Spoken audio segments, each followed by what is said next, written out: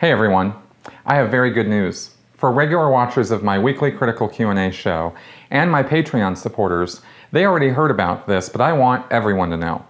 What I'm announcing here is the culmination of two years of work on my part to expose Scientology and give you the actual facts about what really goes on behind its closed doors.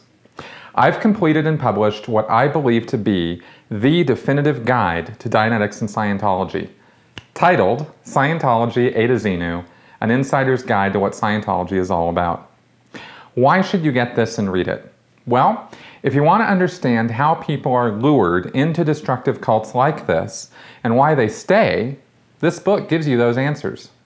If you want to know what Scientologists really believe and why they're willing to cash in their children's college funds, take out second and third mortgages, and even forsake family and friends, this book gives you those answers.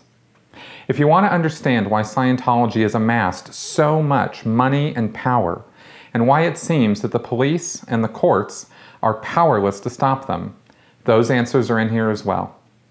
Was L. Ron Hubbard serious about Dianetics and Scientology, or was it all just some big con job from the very start?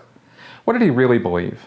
Why did he start Scientology, and despite all his wealth and power, why did he die alone and afraid? Finally, Everyone has heard that Scientology believes in space aliens and some guy named Xenu, and we've all seen South Park. But is that the whole story? Not even close. There's a lot more to know about why Scientologists think they're saving the world, and I break it all down piece by piece. I believe you will not find a simpler and more complete explanation of Scientology's confidential scriptures anywhere else. My own personal story is in here and in more detail than I've ever discussed before.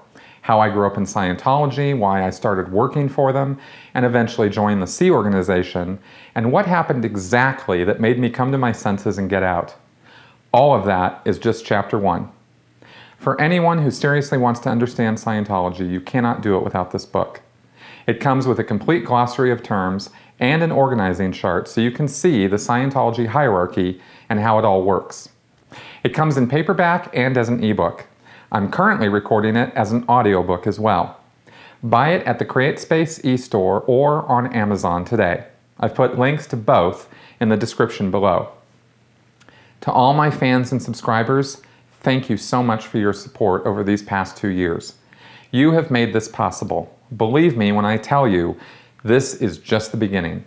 Stay tuned because a lot more is coming in this new year. Thank you for watching.